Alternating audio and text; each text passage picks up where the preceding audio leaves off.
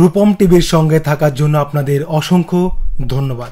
ISRO Indian space research অর্গানাইজেশনের chairperson কে সেভান চন্দ্রায়ন টুর সফল উৎক্ষেপণ করলেন এবং তা ল্যান্ডিং করার জন্য প্রস্তুত হয়ে গেল। চন্দ্রায়ন টু এর অরবিট বিক্রম ল্যান্ডারকে নিয়ে ঘুরতে থাকল চাঁদের চারিপাশে এবং ল্যান্ডিং করার জন্য ঠিক সময়, ঠিক জায়গায় চাঁদের দক্ষিণ সাইডে ল্যান্ডিং করার জন্য অরবিট বিক্রম ল্যান্ডারকে প্রস্তুত করল। সবার নজর চন্দ্রায়ন টু এর অরবিটের বিক্রম ল্যান্ডিং এর প্রধানমন্ত্রী থেকে শুরু করে চেয়ারপারসন কে সেভেন পর্যন্ত প্রস্তুত। ল্যান্ডিং এর ঠিক উনসত্তর সেকেন্ড আগে, অর্থাৎ দু মাইল আগে হঠাৎ করে সম্পর্ক ছিন্ন।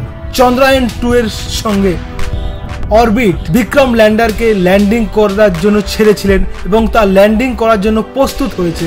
মাত্র দু কিলোমিটার আগেই বিক্রম ল্যান্ডার অরবিট থেকে বিচ্ছিন্ন।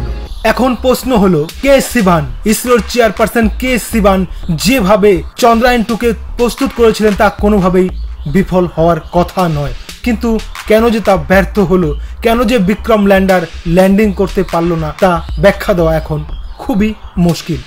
যদিও কে সিবান বলেছেন, আমাদের অরবিট চাঁদের চারপাশে সাত বছর ঘুরে বেড়াবে এবং আমরা আগামী চোদ্দ দিন পর্যন্ত বিক্রম ল্যান্ডারকে অরবিট অরবিট খুঁজে বেড়াবে। চোদ্দ দিন পর্যন্ত বিক্রম ল্যান্ডারকে সংস্পর্শে আনার জন্য অরবিট লাগাতার প্রয়াস চালিয়ে যায়। কিন্তু এখন প্রশ্ন হলো, এত সফল উৎক্ষেপণ এবং এত সফলভাবে কে সিভান চন্দ্রায়ন টু এর পরিকল্পনা করার পর কেন ব্যর্থ হলো? এখান থেকেই প্রশ্ন উঠছে। তা হলো কি, হ্যাকার?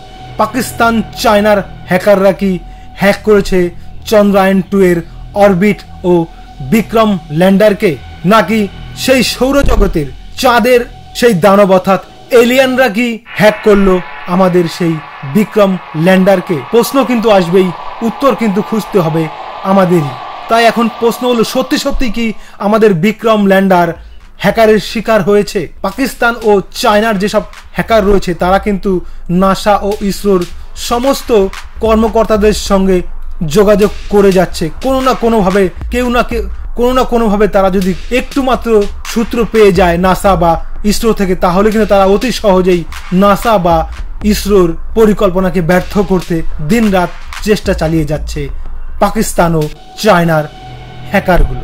দ্বিতীয়ত যেটি এলিয়েন সে এলিয়েন, মহাকাশে তারা এলিয়েনগুলো আছে কি নেই তার স্পষ্ট প্রমাণ মেলেনি। তবুও কেন যেন মনে হয় চন্দ্রায়ন টুর বিক্রম ল্যান্ডার, অর্থাৎ অরবিটের যে বিক্রম ল্যান্ডার, তাকে কি ধ্বংস করল সেই এলিয়েনরা? তবে কে সেভান? অবশ্য চোদ্দ দিন টাইম নিয়েছে। চোদ্দ দিনের মধ্যে অরবিট বিক্রম ল্যান্ডারকে খুঁজে বেড়াবে তো ভারতের প্রধানমন্ত্রী নরেন্দ্র মোদী অবশ্য আশ্বাস দিয়েছে যে একবার ব্যর্থ হয়েছে তাই কি হয়েছে। রাশিয়া তো প্রচুর চেষ্টা করে সফল হয়েছে। আমেরিকাও তো প্রচুর চেষ্টা করে সফল হয়েছে। তো ভারত তো কেবল একবার। তো চেষ্টা করে যাও, নরেন্দ্র মোদী তোমাদের সাথে আছে। তাই ভারতীয় বিজ্ঞানীরা আবার প্রস্তুত হচ্ছেন নতুন মিশন নিয়ে এবং তারা চোদ্দ দিন চেষ্টা চালিয়ে যাবেন সেই বিক্রম ল্যান্ডারকে খুঁজে পাওয়ার জন্য। তাদের কিন্তু গোটা ভারতবাসীর তথা বিশ্ববাসীর কাছে এখন একটি প্রশ্ন, তাহলে কি সেই হ্যাকার নাকি এলিয়ান? কারা ভারতের সেই চন্দ্রায়ন টু এর পরিকল্পনা ভেস্তে দিল। এই প্রশ্ন কিন্তু ঘুরপাক খাচ্ছে গোটা দেশের তথা গোটা দুনিয়ার বিজ্ঞানী তথা সাধারণ মানুষের মনে। তো আপনাদের মনে কি প্রশ্ন উঠছে? কমেন্টে অবশ্যই লিখবেন। জয় হিন্দ, বন্দে মাতরম।